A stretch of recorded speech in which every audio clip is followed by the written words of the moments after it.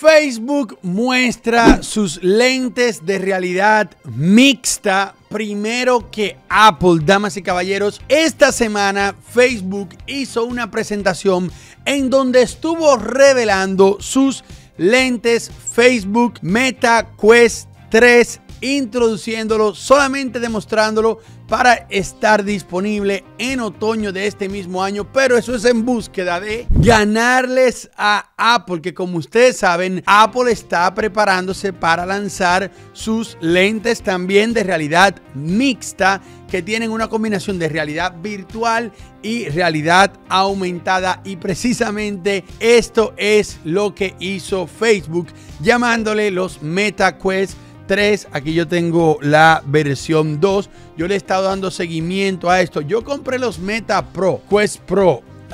pero no sé, nunca le hice un review y me dolió en el alma realmente. Pero puede ser que yo los vuelva a comprar y les haga un review. Ahora vamos a ver los Meta 3. ¿Cuáles son las diferencias en comparación a los Meta 2? Y también tienen muchas cosas interesantes que vimos en el Meta Pro. Que el Meta Pro también tenía esa, esa realidad mixta, ¿ok? Ya esos lentes, los Pro de el Meta Quest Pro tiene esa realidad mixta. Ustedes vieron los lentes, cómo eran. Yo lamentablemente no lo mostré aquí, pero ahí mi editor le está mostrando varias imágenes de cómo tú podías interactuar con el mundo de realidad virtual y también el mundo de la realidad argumentada con esos lentes. Pero esos lentes tienen un precio bien caros, o sea, son 1.500 dólares que cuestan. Por eso que yo siento que ellos dijeron, vamos a lanzar los Meta 3,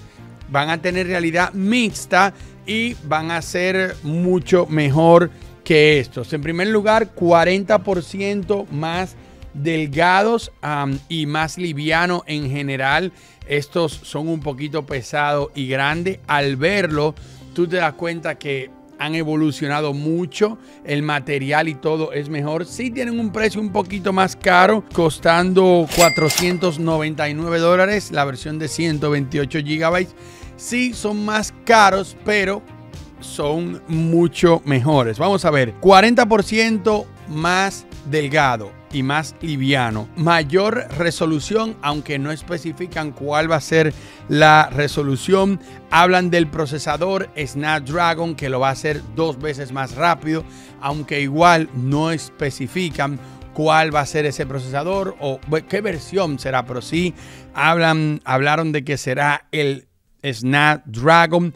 Y lo que rompe aquí realmente es en la parte frontal que tiene como que tres pastillas, como que tres ranuras que parecen pastillas, que son realmente cámaras breakthrough cameras o, o look through cameras, que son cámaras para tú poder ver directamente la realidad aumentada. Es como un lente. Eso, eso que está ahí son como que un lente, pero también tienen cámara porque van a obtener información. Ok, no son unos simples lentes como los de Google que tú te lo ponías y tú veías algo que te reflejaba ahí. No, no, no. Estos son cámaras, pero que funcionan también como lente para que la realidad virtual y la realidad tuya ¿verdad? Para tú poder interactuar. Aunque, tengo que decirlo, en el evento, y, y aquí es donde yo digo que esto lo hicieron es para ganarle a Apple y para que la gente no diga, wow, Apple trajo los lentes de realidad mixta, algo que no existía. No, ya vino Facebook y dijo, nosotros sí lo tenemos. Y en el video en donde se anuncia,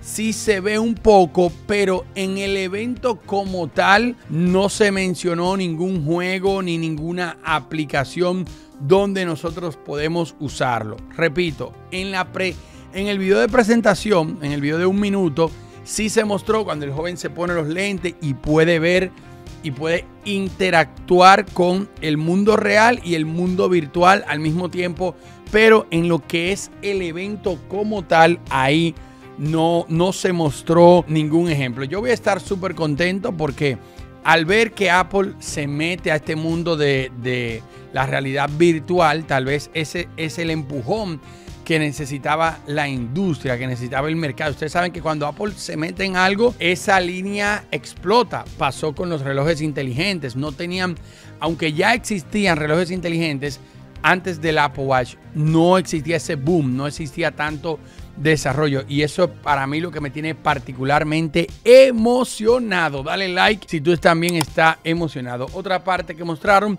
son los nuevos controles que no tienen una cámara como los Meta Quest Pro que tenían su propia cámara. Me imagino que esto van a interactuar directamente con lo que es la cámara del aparato, pero sí va a tener eh, un True Touch Haptic Tag, un feedback áptico, lo de la vibración, ustedes saben que es mucho mejor para los juegos y este ellos le pusieron el nombre de True Talk, True Touch. Parece que viene mejorado.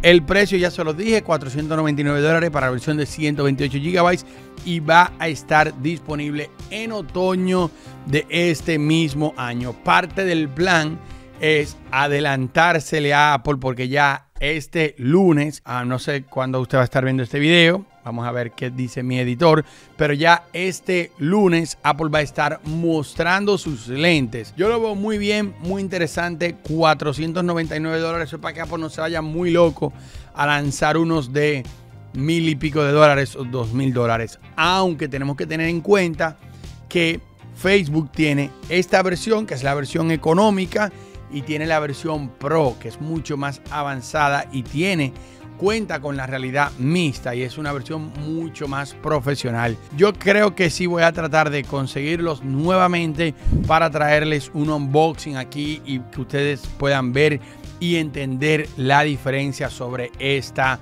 nueva tecnología. Dele like a este video de verdad si a usted le gusta que en este canal no solamente es Apple, sino que nosotros sí cubrimos todo lo que tenga que ver con tecnología, todos los avances interesantes como son los MetaQuest, que ahora muchos canales eh, que nunca han hablado de la realidad virtual van a comenzar a hablar eh, después de que Apple obviamente lance los nuevos lentes de realidad mixta. Yo siento que es una buena estrategia. En general, siento que es una buena estrategia de Facebook tratar de conseguir eso, tratar de de ir delante. Nosotros tenemos ya tres años, cuatro años, más de cinco años tal vez trabajando el Oculus. Muéstrale ahí, por favor, mi primer unboxing del Oculus 1, que era un cajón, así que parecía una computadora negra y fea.